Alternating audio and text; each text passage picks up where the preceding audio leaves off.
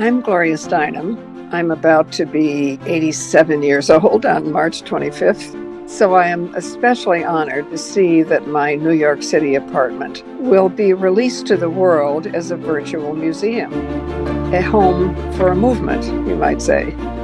Since 1966, this space has hosted many diverse meetings and discussions that were part of groundbreaking movements and ideas.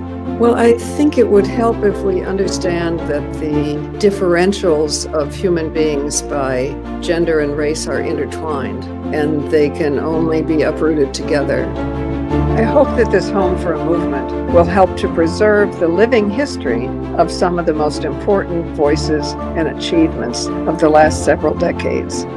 Using the Street View feature, you can move around virtually, clicking to discover more. The big thing we want, it can be expressed through the little things we are doing, and then we get there one step at a time. To experience a home for a movement, go to artsandculture.google.com. We are lifting one another up and putting our torches together because it's not about the destination, it's about the community with whom we choose to travel. And this is our community.